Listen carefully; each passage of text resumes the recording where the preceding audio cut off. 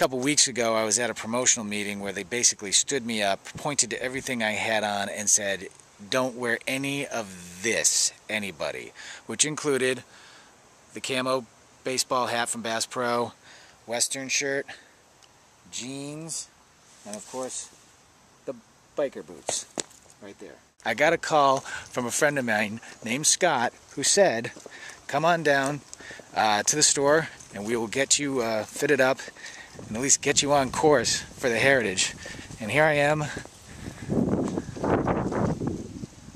This is Belks. And actually waiting for me at the door is my buddy Scott. Say hi, Scott. Hi, Scott. Scott's on the uh, phone with corporate. Shh. The world of good fashion.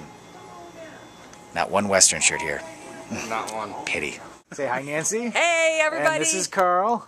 Hey, everybody. All right, Nancy, what did you just ask me? I just said, what are they making you wear? Definitely not that. That hurt, Nancy. You're cutting deep immediately. All right, here we go. What did you say, Carl? What did you just Are ask you me? a small or medium? You liar. You you asked me if I was large or extra large. That's what he he said that. I'm a large ish. no. Why can't you do that? Stripe Look, on strike. look. No. There's There's plaid. There's Eh, no, eh. no. That's a gone. Have the legs ever seen the light of day? Are we going to hurt somebody's eyes if we put you in shorts?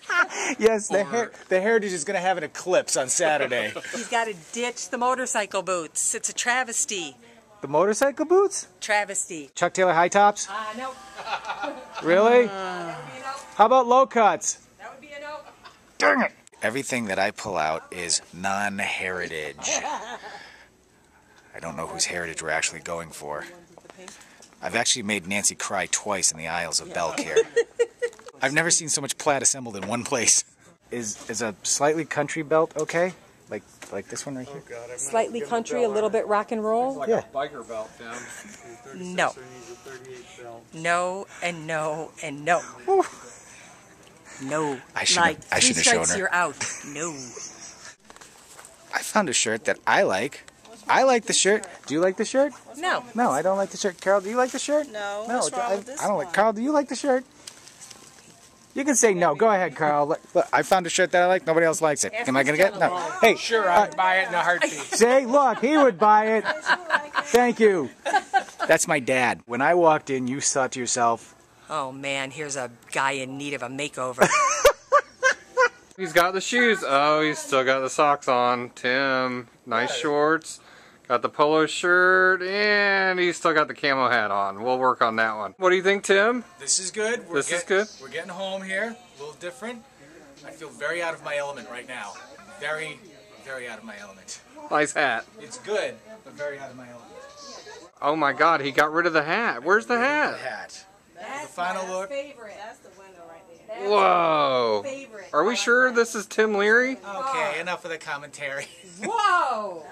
Is it good? Yeah, that's my favorite by far. That is your favorite. Yeah. Legs and all. I do have one last surprise for you. Yes. I know, I know how much the camo hat meant to you. I know. I'm getting over it. I know. getting over the camo. But guess what? I got something for you. We got you a golf visor Look at this. camo just for you. The golf visor. I- You did don't see have to little, go without. Go Tim. A little bit of me returns to this outfit. Go Tim. Some camo golf visor. Come down and see Scott my friends here at Belks. Thank you guys very much. We'll see you guys Awesome. at the Heritage.